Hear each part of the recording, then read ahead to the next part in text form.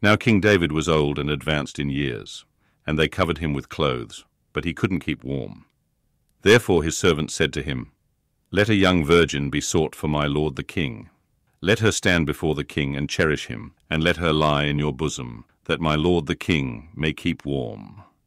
So they sought for a beautiful young lady throughout all the borders of Israel, and found Abishag the Shunammite, and brought her to the king. The young lady was very beautiful, and she cherished the king and served him, but the king didn't know her intimately. Then Adonijah the son of Haggith exalted himself, saying, I will be king. Then he prepared him chariots and horsemen, and fifty men to run before him.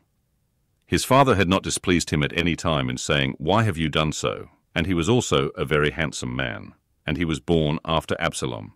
He conferred with Joab the son of Zeruiah, and with Abiathar the priest, and they followed Adonijah and helped him. But Zadok the priest, Benaiah the son of Jehoiada, Nathan the prophet, Shimei, Rei, and the mighty men who belonged to David, were not with Adonijah. Adonijah killed sheep, cattle, and fatlings by the stone of Zoheleth, which is beside On En Rogel. And he called all his brothers, the king's sons, and all the men of Judah, the king's servants. But he didn't call Nathan, the prophet, and Benaiah and the mighty men, and Solomon his brother.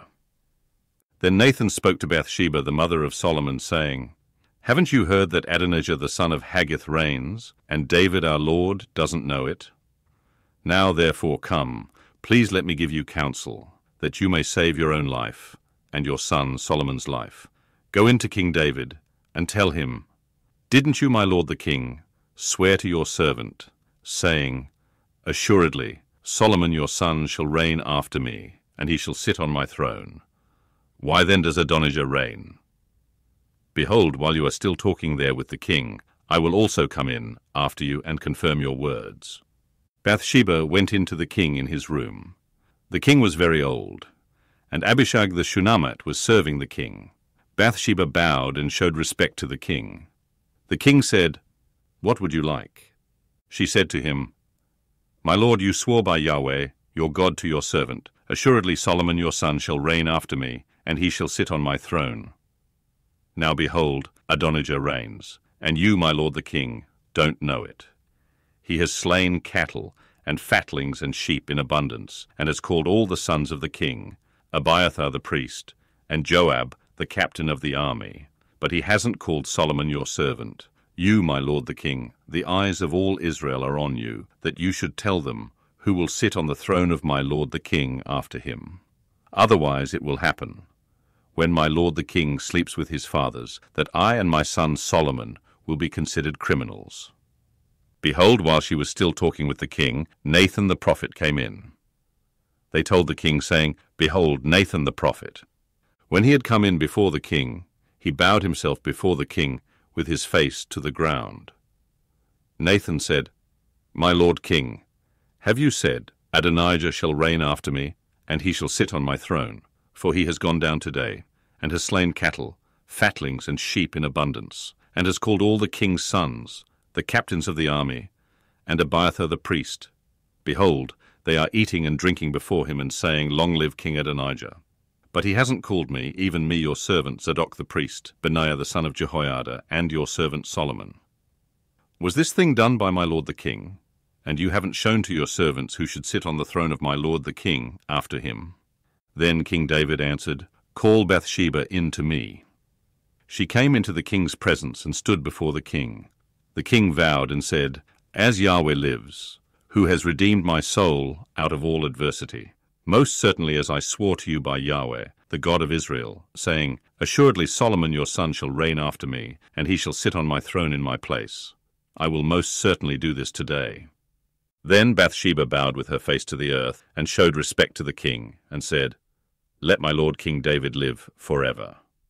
King David said, Call to me Zadok the priest, Nathan the prophet, and Benaiah the son of Jehoiada. They came before the king.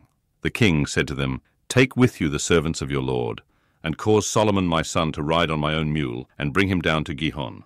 Let Zadok the priest and Nathan the prophet anoint him there king over Israel. Blow the trumpet and say, Long live King Solomon. Then come up after him, and he shall come and sit on my throne, for he shall be king in my place. I have appointed him to be prince over Israel and over Judah. Benaiah the son of Jehoiada answered the king and said, Amen. May Yahweh, the God of my lord the king, say so. As Yahweh has been with my lord the king, even so may he be with Solomon, and make his throne greater than the throne of my lord King David. So Zadok the priest, Nathan the prophet, Benaiah the son of Jehoiada, and the Cherethites and the Pelethites went down and had Solomon ride on King David's mule, and brought him to Gihon. Zadok the priest took the horn of oil from the tent and anointed Solomon. They blew the trumpet, and all the people said, Long live King Solomon. All the people came up after him, and the people piped with pipes, and rejoiced with great joy, so that the earth shook with their sound. Adonijah and all the guests who were with him heard it as they had finished eating. When Joab heard the sound of the trumpet, he said, Why is this noise of the city being in an uproar? While he yet spoke, behold, Jonathan the son of Abiathar the priest came, and Adonijah said, Come in, for you are a worthy man, and bring good news. Jonathan answered Adonijah, Most certainly our Lord King David has made Solomon king. The king has sent with him Zadok the priest, Nathan the prophet, Benaiah the son of Jehoiada, and the Cherethites and the Pelethites, and they have caused him to ride on the king's mule. Zadok the priest and Nathan the prophet have anointed him king in Gihon. They have come up from their rejoicing, so that the city rang again. This is the noise that you have heard. Also, Solomon sits on the throne of the kingdom. Moreover, the king's servants came to bless our lord King David, saying, May your God make the name of Solomon better than your name, and make his throne greater than your throne. And the king bowed himself on the bed. Also thus said the king, Blessed be Yahweh, the God of Israel, who has given one to sit on my throne today, my eyes even seeing it. All the guests of Adonijah were afraid, and rose up, and each man went his way. Adonijah was afraid because of Solomon, and he arose and went, and hung onto the horns of the altar. Solomon was told, Behold, Adonijah fears King Solomon. For behold, he is hanging on to the horns of the altar, saying, Let King Solomon swear to me first, that he will not kill his servant with the sword. Solomon said, If he shows himself a worthy man, not a hair of his shall fall to the earth. But if wickedness is found in him, he shall die. So King Solomon sent, and they brought him down from the altar. He came and bowed down to King Solomon, and Solomon said to him, Go to your house.